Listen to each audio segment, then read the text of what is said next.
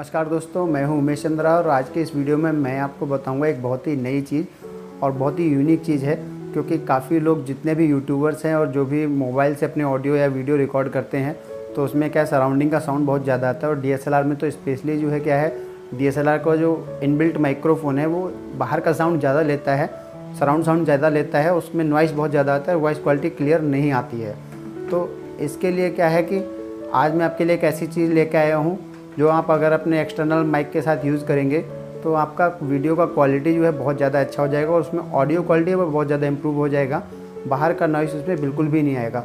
दोस्तों मैंने एक वीडियो अपलोड किया था अपने चैनल पे करीब दो महीने पहले कि बोया माइक का अनबॉक्सिंग का।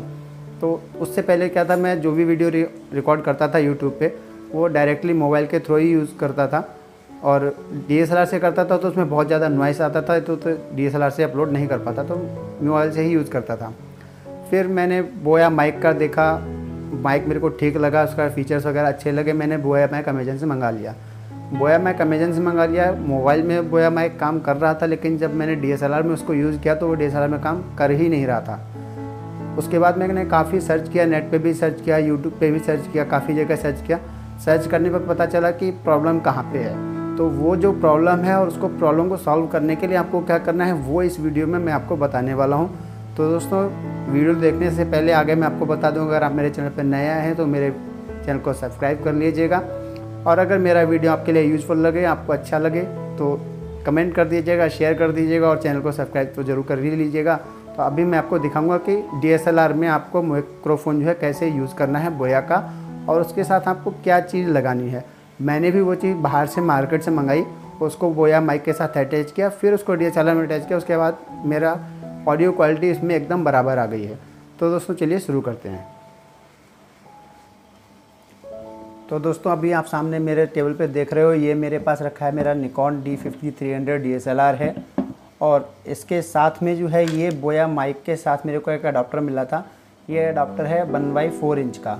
तो ये अडाप्टर दोस्तों इतना मोटा है कि ना तो आप इसे मोबाइल में यूज़ कर सकते हो, ना ही इस डीएसएलआर में जो पॉइंट दिया होता है एक्सटर्नल माइक के लिए यहाँ पे। दिखाता हूँ आपको मैं खोल के। तो आप इसको वहाँ पे भी यूज़ नहीं कर सकते हो। ये पॉइंट दिया होता है डीएसएलआर में। माइक के लिए 3.5 पॉइंट mm जैक होता है, जैसा कि मोबाइल का हेडफोन का जैक होता है, वैसा यहाँ पे पॉइंट होता है उतना ही 3.5 पॉइंट mm का। ये जो अडाप्टर साथ में दिया है, ये है वन बाई फोर इंच का तो ना तो आप इसे डीएसएलआर में यूज़ कर सकते हैं हम लोग, और ना ही इसे यूज़ कर सकते हैं मोबाइल में। इसको हम लोग या तो वीडियो रिकॉर्डर में यूज़ कर सकते हैं, या फिर किसी लैपटॉप में यूज़ कर सकते हैं। तो मेरे साथ प्रॉब्लम ये आ रही थी कि बोया का माइक जो था मेरे डीएसएलआर में काम नहीं कर रहा था। तो उसके लिए मैंने काफ़ी सर्च किया तो मेरे को पता लगा कि बोया के माइक का जो अडोप्टर है, वो अडोप्टर इस टाइप का है जो कि हमारे नॉर्मली फ़ोन का अडोप्टर होता है।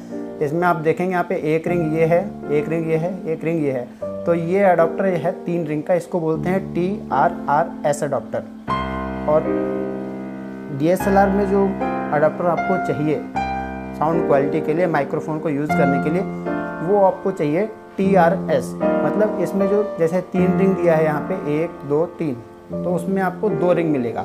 एक, दो दो रिंग चाहिए। और इन्होंने जो बोया के साइज़ जो अडोप्टर आ रहा है, ये है टी एस अडोप्टर तो ये तीन टाइप के टोटल अडोप्टर आते हैं T S T R S और टी आर आर एस ये टी एस ये हमारे किसी काम का भी नहीं है। ये सिर्फ़ वीडियो रिकॉर्डर में काम करेगा आपका या लैपटॉप में।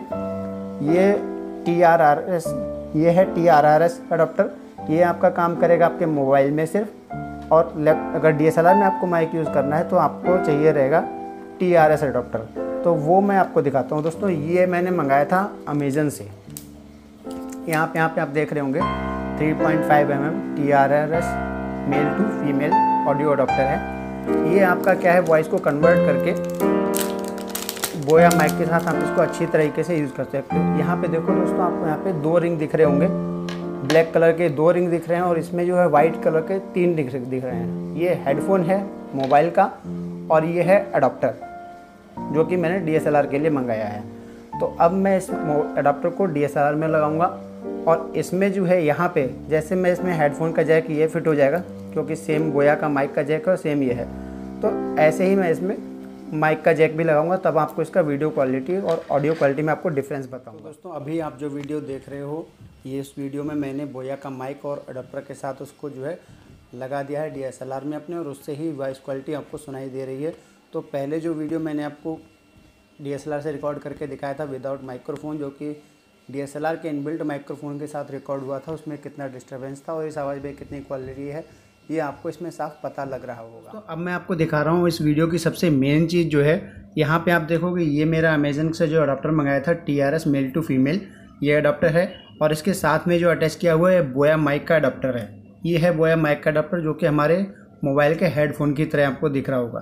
तो जब आप इसमें इसको लगाएँगे डीएसएलआर में जब ये अडाप्टर लगाएँगे टी आर एस अडाप्टर तो ये तो आपको इसमें पूरा फिक्स कर देना है अंदर तक, जहाँ तक ये जाता है। जैसे हेडफोन हम लोग मोबाइल में यूज़ करते हैं।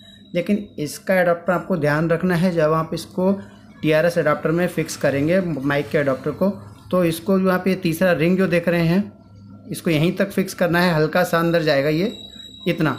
बस यहाँ तक अंदर जाएगा। अगर आप इसको इसके ज़्यादा अंदर करेंगे ना तो फिर इसमें आपका वॉइस क्वालिटी आएगा ही नहीं बराबर। तो आपको बस यहीं तक रखना है, हल्का सा इसको बाहर की तरफ़ रखना है, ताकि आपका वॉइस क्वालिटी बराबर रिकॉर्ड होगा। और वो आपको उसमें पता चल जाएगा, आप अपने हिसाब से उसको एडजस्ट कर लीजिएगा। इसके बाद भी अगर आपको कोई प्रॉब्लम आ रही है तो आप मेरे को कमेंट कर दीजिएगा। मैं आपकी प्रॉब्लम ज़रूर ज़रूर सॉल्व कर दूँगा। तो दोस्तों, मेरा वीडियो देखने के लिए बहुत बहुत धन्यवाद। और अगर अभी भी आपने मेरा चैनल सब्सक्राइब नहीं किया तो सब्सक्राइब ज़रूर कर लीजिएगा। और दोस्तों, अगर वीडियो अच्छा लगा हो यूज़फुल हो तो कमेंट कर दीजिएगा। वीडियो को ज़्यादा से ज़्यादा शेयर कर दीजिएगा। थैंक यू दोस्तों।